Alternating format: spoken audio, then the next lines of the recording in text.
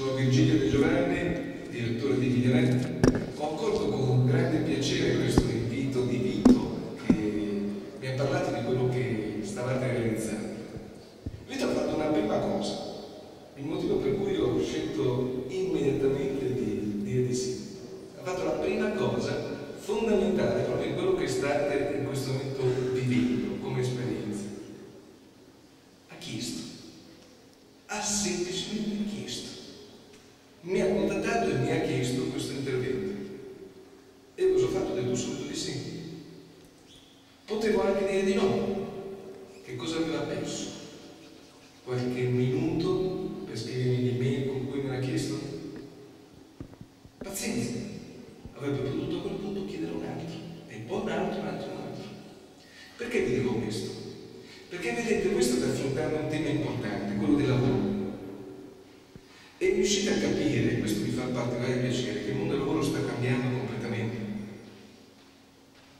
E oggi occorre più che mai l'intraprendenza, l'imprenditività che ogni persona ha e che spesso però non riesce a tirare fuori.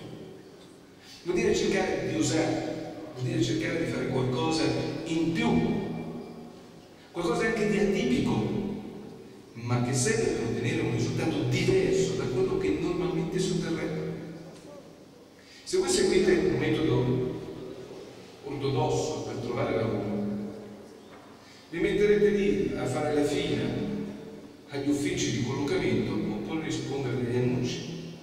Vi posso assicurare che questo metodo da solo di per sé rende poco. Dovete studiare, dovete tirarvi fuori, dovete cercare veramente, lo volete dovete fare. Allora, che cosa secondo me potete trarre da questa esperienza in giovani? La mentalità che ci serve.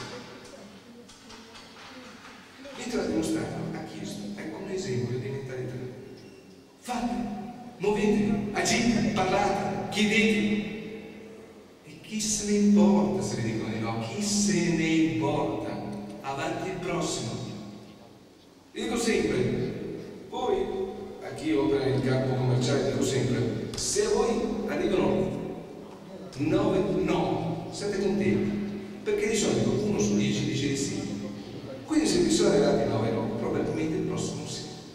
Non deludete quindi, anzi, esaltate la creatività. Lo dico, una frase fatta. Ragazzi, vi dico solo una cosa. Con la mia vista tratto di imprenditoria da oltre 20 anni.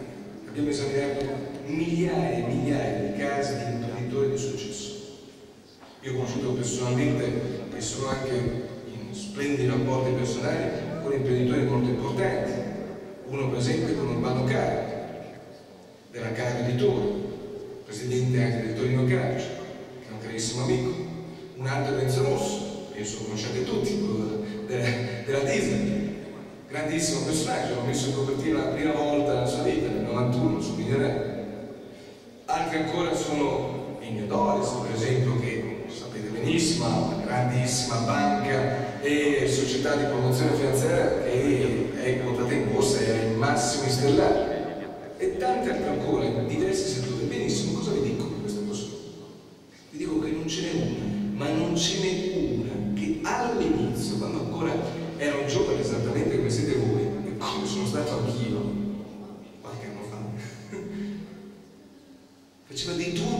di tutto pur di riuscire, di tutto.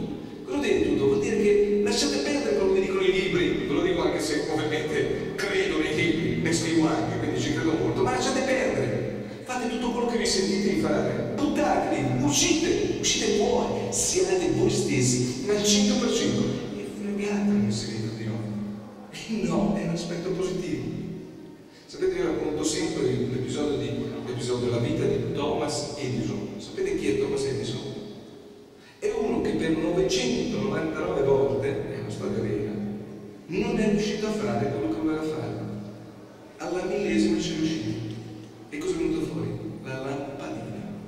Sì, lui è l'uomo che ha inventato la lampadina. Ci ha messo mille tentativi sbagliati. Bene, spero che per voi la vita sia